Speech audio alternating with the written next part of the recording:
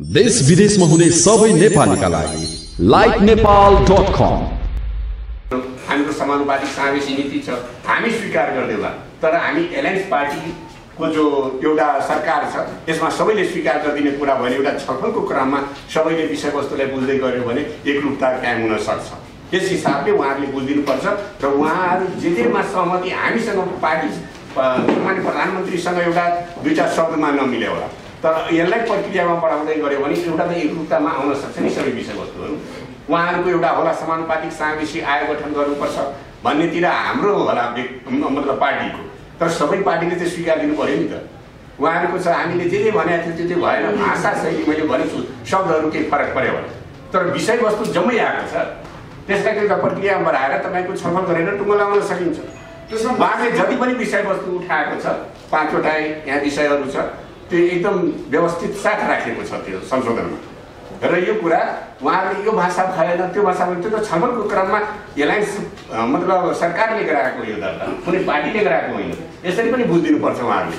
र छलफल गऱ्यो भने बुझाएको एकरूपता सबै प्रतिपक्ष र सबैमा आउनुपर्छ। त्यसपछि मात्रै तपाईँको त्यो पास हुने र फेल हुने कुरा हुन्छ। र बुझाइमै एकरूपता ल्याएन भने उहाँहरू अहिले नै हामी विषयवस्तु जम्मै राखेका छौँ। उहाँहरूले जे जे भन्नुभएको छ त्यो चाहिँ राखेका छौँ। र तपाईँको त्यहाँबाट यसरी भाग्नु नाटकीय ढङ्गले भाग्नु र यसलाई अस्वीकार गरेर आन्दोलनको घोषणा गर्नु यो राष्ट्रलाई कता न कता अप्ठ्यारोमा पार्ने र जनतालाई दुख दिने काम अरू केही हुँदैन। यदि निकास राष्ट्रको निकास हो भने मधेसी जनता पनि त्यहाँ खुसियाली हुन्छ उत्साह आउँछ मधेसी जनतामा पनि। र जम्मै राष्ट्रिय एउटा उत्साहमा जनतालाई पनि उत्साहमा ल्याउने काम चाहिँ गर्नु पऱ्यो मधेसी मोर्चाका पनि म भन्छु एकदम साथ मैले बोल्छु मेरो भाषाले टिप्ने हो र उहाँ तपाईँहरूको जहाँ जोर छ नि मधेसी मोर्चालाई हामीले पेलेर यो गरेर त्यो गरेर हाम्रो कतै पनि मनसाई छैन। र यो कुरा जहाँसम्म हाम्रा हाम्रो सरकारले अप्नाउनु पर्ने लचकता हामी सबै अप्नाउँछौँ। र जहाँ प्रभावित हुन्छ जहाँ निर्वाचन अलिक सहमति गरेर गर्नुपर्छ त्यहाँ दोस्रो चरणमा पनि गर्न सकिन्छ भन्ने हामी भनेको तर यो निर्वाचनको मिति सार्न यताउति गर्न मिल्दैन निर्वाचन हुन्छ।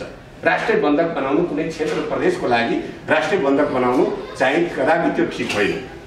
हामी त्यो भाषालाई अलिक यहाँहरूले व्यवस्थित ढङ्गले स्थापित गराइदिनु मधेसबाहेक दलले चाहेर पनि मधेसमा चुनाव चाहिँ रोक्न सक्दैन जनताको चाहिँ यहाँ फेरि त्यही त्यसै दिनुहुन्छ मैले भने नि मधेसी जनताले रोक्ने कुरा नरोक्ने मधेसी जनतामा जानुहोस् न निर्वाचन लागिसक्यो कुनै नेतृत्व विशेषले उहाँहरूले मधेसी जनतालाई यदि दुःखै दिनु छ जहिले पनि आन्दोलनकै कुरा गर्नु छ उपलब्धि केही दिनु छैन त्यस्तो सोचेको हो भने त्यो मधेसी जनताले पनि उहाँ भोलिको दिनमा उहाँहरूले हेर्नुहुन्छ कति शक्तिशाली भयो भने कुरा भोलिको दिनमा उहाँहरूले त्यो परीक्षा गर्न सक्नुहुन्छ किनकि मधेसी जनता पनि केही पाउँ भन्नेतिर छ यहाँ यत्रो परिवर्तन भयो गणतन्त्र आयो संहिता आयो समानुपातिक समावेशी सिद्धान्त लाग्यो धर्मनिरपेक्ष यसले के जनजीविकामा परिवर्तन खोजेको छ मधेसी जनता तपाईँ जानुहोस् न टोल बस्तीहरूमा घुम्नुहोस् हामी त्यहाँ बुझ्छौँ मनोविज्ञान त्यहाँ तीव्र इच्छा छ कति छिटो त्यहाँको विकासको समस्या जनजीविकाको समस्या बेरोजगारीको समस्या कति छिटो हल भइदिए हुन्थ्यो भन्ने छ यसलाई जसले ट्याकल गर्यो जसले समाति ऊ हुन्छ र उहाँहरू त्यहाँ चुकिराख्नु भएको छ त्यही स्वामित्व लिनेतिर र पछि चाहिँ हामी यो गरौँला है यति हामी लडेर लियौँ। हाम्रै कारणले यो परिवर्तनहरू भयो भन्नेतिर उहाँहरू जानु पर्थ्यो र मधेसी जनतालाई त्यो उपलब्धि दिनेतिर जानु पर्थ्यो उहाँहरूले। त्यो गरिराख्नु भएको छ दुर्भाग्यको विषय हो। र राष्ट्रलाई अप्ठ्यारो पार्यो भने मधेसी जनता पनि कतै न कतै दुःख पीडा पाउँछ र हामी त्यो मधेसी जनताको दुःख पीडा हेर्न चाहँदैनौँ। हामी खुसियाली भएको देख्न चाहन्छौँ उत्साहमा मधेसी जनता पनि आओस् भन्ने देख्न चाहन्छौँ।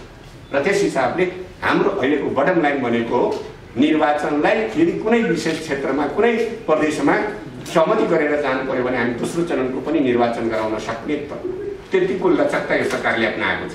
यसलाई यहाँहरूले मतलब बलियो ढङ्गले स्थापित गरिदिन म आग्रह गर्छु। थ्याङ्क यू सो मच धन्यवाद।